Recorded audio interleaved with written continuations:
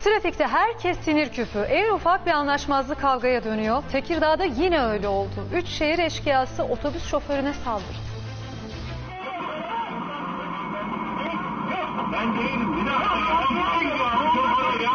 Şehir eşkıyaları halk otobüsünün önünü kesti, şoföre tekme tokat saldırdı.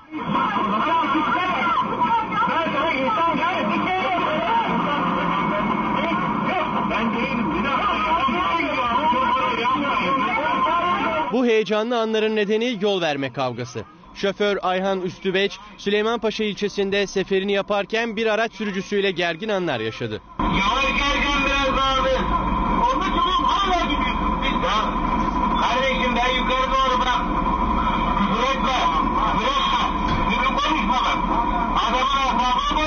İşte bu tartışma kavganın da fitilini ateşledi.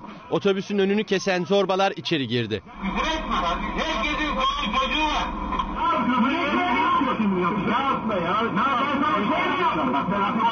Şoför Üstübeç alttan aldı ama 3 saldırgan durmadı.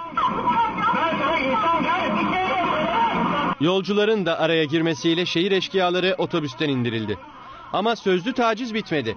Taraflar karşılıklı olarak şikayetçi olacaklarını söyledi.